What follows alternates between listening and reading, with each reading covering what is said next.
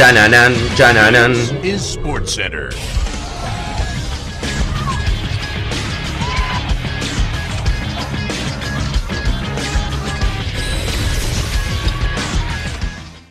Hola gente, ¿cómo andan? Un saludo grande para todos. Yo soy Jan y hoy les traigo un nuevo video. En este caso vamos a traerles una idea distinta, creo yo. Algo que está dentro del mundo del fútbol, pero que no es específicamente fútbol. Algo que hace muchísimo tiempo que no traigo al canal, años diría yo que es que en este caso vamos a estar hablando un poco de FIFA.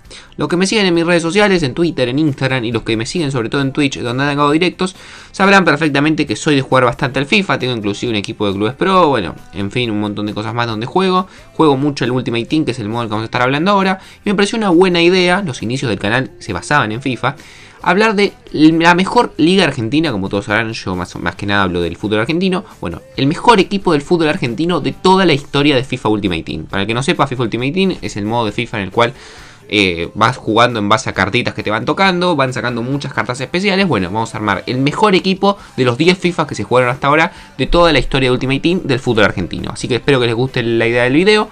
Participen del sorteo de los 100 dólares, que queda casi nada, 3 o 4 días si no me equivoco, y ya sorteo los 100 dólares. Y no mucho más. Les mando un saludo grande y arrancamos. En el arco en este equipo nos vamos a encontrar con Martín Campaña de medio 87. En este caso la carta azul que ven es un TOTS. Un TOTS significa Team of the Season, es decir que fue el mejor arquero de la Liga Argentina durante la temporada 2017. Realmente una muy buena carta, medio 87. Había salido en los TOTS consistentes, que son los futbolistas que no tuvieron eh, jugadores en forma durante todo el año. Jugar en forma es cuando tienen un muy buen partido, lo ponen, le suben la media, que es el puntaje o la variación que tienen durante esa semana. Bueno, no había tenido ninguno y además salió también en el TOTS de la Liga Argentina. Un muy buen arquero de medio 87. Hay otro que también tenía la misma media que él, pero bueno, teniendo en cuenta que además tiene la imagen dinámica y que había tenido un muy buen año, fue claramente el mejor arquero de esa temporada en el fútbol argentino. Lo ponemos a Martín Campaña como el mejor arquero de la historia de FIFA, al menos en la Liga Argentina. Por la derecha, en el lateral, nos vamos a encontrar con Gino Peruzzi, también TOTS, o sea, of the Season del FIFA 17. Ese año en particular, lo que tuvo de peculiar el fútbol argentino y el FIFA es que sacaron un equipo completo de futbolistas de, del medio local de la temporada. Normalmente lo que hace en FIFA es sacar dos o tres futbolistas en el resto del mundo. Ese año hubo 23 eh, futbolistas del año en el fútbol argentino, lo cual es una rareza, después nunca más se había, nunca se había pasado y nunca más se repitió, y ese año pasó, por lo cual muchos van a ser seguramente de esa temporada. Gino Peruzzi tiene unas estadísticas buenísimas, 87 de media, 88 de ritmo, que es una cosa súper importante en el FIFA, realmente el ritmo es una de las cosas primordiales a los que juegan Ultimate Team. Salvo el tiro, tiene muy buenas estadísticas, muy buena defensa, muy buen regate, muy buen físico y realmente uno de los mejores laterales del fútbol argentino. Quizás también en esa posición en su momento estuvo Buffarini, pero Peruzzi le saca una ventaja importante. En los centrales, quizás la parte más flojita que tiene FIFA, al menos a mi criterio. El primero del que estamos a estar hablando es de Renato Sibeli de FIFA 17 también. Terrible ese FIFA la cantidad de futbolistas que hubo. Renato Sibeli, medio 82, tenía una carta de medio 76 en Banfield, un central muy alto, que tiene buen físico, que tiene buena defensa, que tiene buen cabezazo, pero que claramente es muy poco usado. Primero por ser de la Liga Argentina, pero si vamos a ir al caso de la Liga Argentina, es muy poco usado por el ritmo horrible que tiene. Un jugador que tiene menos 60 de ritmo es prácticamente inutilizable en FIFA, te agarra cualquier delantero rapidito y te pega un peludo bárbaro, pero realmente bueno, dentro de la media, que es el criterio que voy a utilizar para elegir los mejores futbolistas de cada uno, con medio 82 es uno de los mejores centrales que tuvo el fútbol argentino en el juego. Y mismo también de ese año, en este caso quizás llamativo, la única carta NIF. NIF significa una carta que no es en forma ni nada, simplemente es la carta base que salió del juego.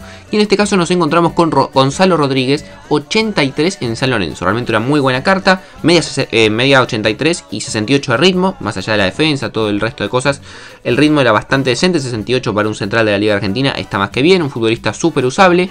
Lamentablemente, eh, después al correr de los FIFA fue cada vez bajando más de media, en San Lorenzo no lo usaban tanto, fue bajando el ritmo y hoy prácticamente, si no me equivoco, es de plata, o sea, realmente completamente inutilizable. De plata es debajo de 75 de media.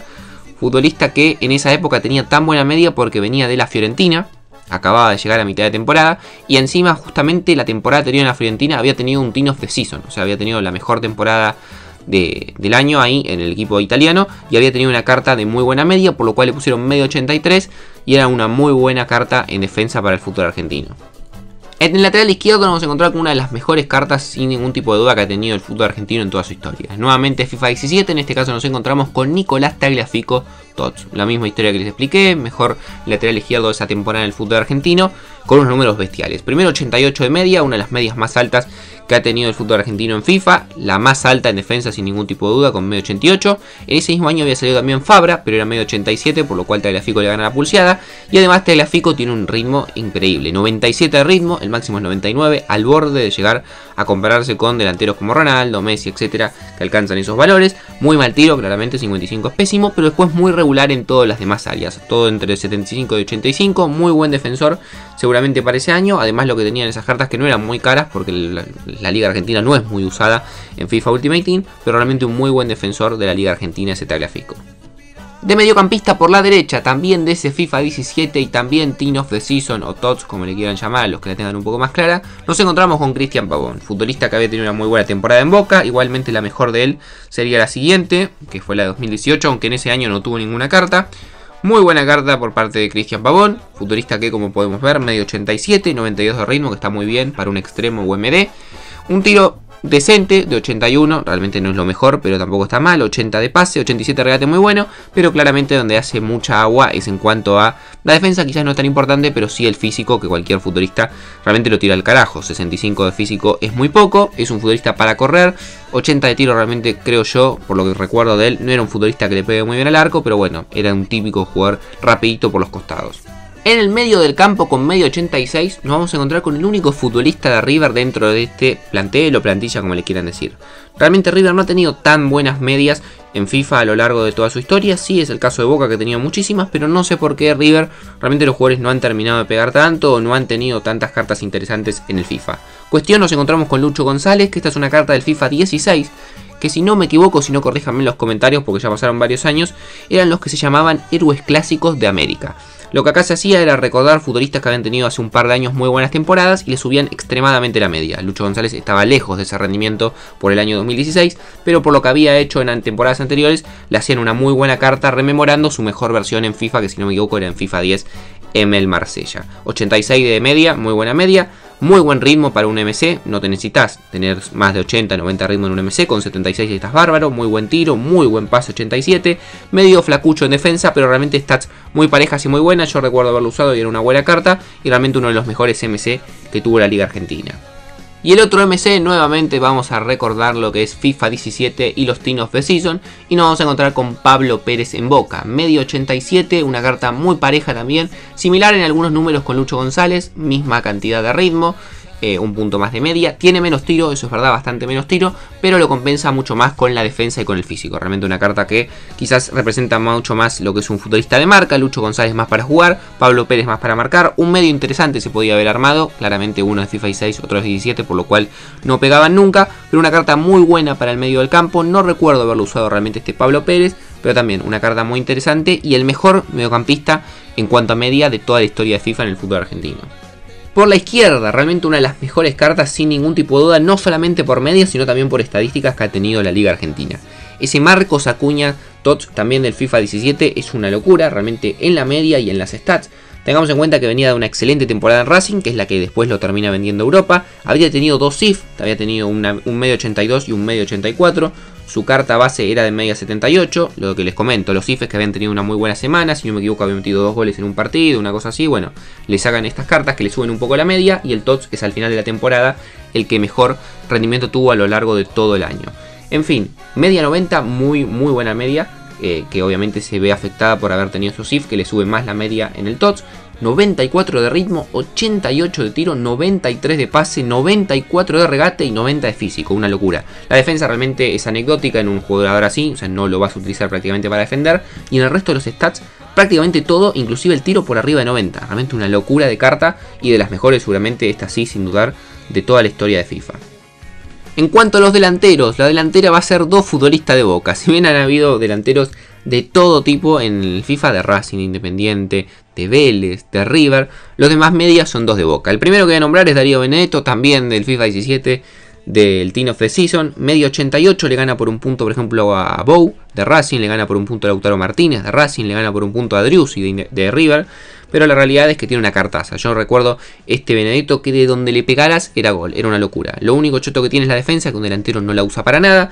El resto, salvo el pase que es 80, muy pero muy parejo y muy alto. Excelente tiro, muy buen ritmo, muy buen físico y muy buen regate. Y una así también de las mejores cartas que ha tenido el fútbol argentino en FIFA. Y el último 9 de este equipo es la mejor carta del fútbol argentino en la historia de FIFA. En cuanto a media y en cuanto a estadísticas, este Carlos Tevez, héroe clásico del resto del mundo, si no me equivoco, de FIFA 18 del año pasado, es una locura. Media 95, por lejos le gana a Cuña que era media 90, y después en estadísticas es terrible. 94 de ritmo, corre una locura ese Carlitos Tevez, 96 de tiro, o sea, no sé.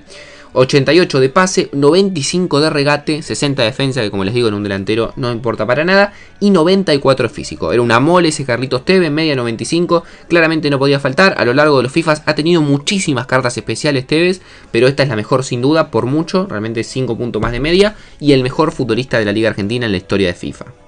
Y por último, para cerrar, porque realmente creo que había cartas que valía la pena mencionarlas y no dejarlas afuera, hay un par de futbolistas que han tenido cartas muy buenas, como podemos ver ese Zárate Tots, que fue el primer Team of the Season, un futbolista del el fútbol argentino que estuvo en un equipo de la temporada, Zárate Vélez del 2014, después Cuesta de la Copa América, cuando metió el gol en la Copa América sacó esa carta medio 80, Andújar, como les comentaba, la misma media que eh, campaña en el FIFA 17. Lautaro Martínez el año pasado, el único Team of the Season del fútbol argentino que hubo, una cartaza. Maxi Rodríguez, héroe clásico del año 2016. Centurión de este año, que esa carta es SBC, es decir, si completas todos los equipos de la Liga Argentina, te dan ese Centurión. Y Beluski también del FIFA 17, un Team of the Season bastante interesante para jugar de MCO.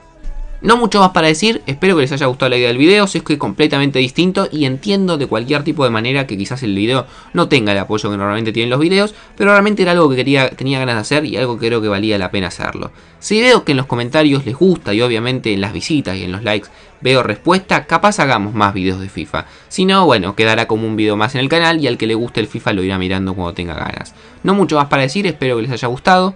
Participen del sorteo que quedan muy pocos días y son 100 dólares, muy sencillo, únicamente tienen que entrar al link del sorteo y ya están participando. Y nada más gente, les mando un saludo grande y nos vemos la próxima.